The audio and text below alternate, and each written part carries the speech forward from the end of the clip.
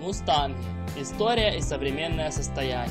Мустанги являются потомками домашних лошадей, которые привезли в Новый Свет колонисты из Европы в XVI веке. Многие из привезенных тогда лошадей по тем или иным причинам отбивались от людей и дичали.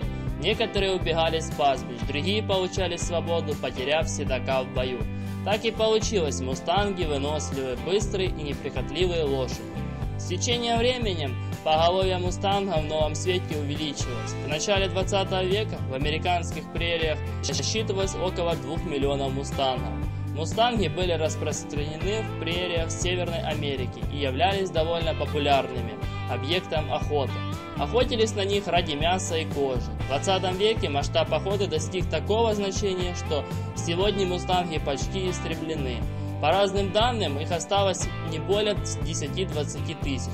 Другой важной причиной уменьшения численности мустангов являлись потреблением новых пастбища для стремительного возрастающего поголовья скота.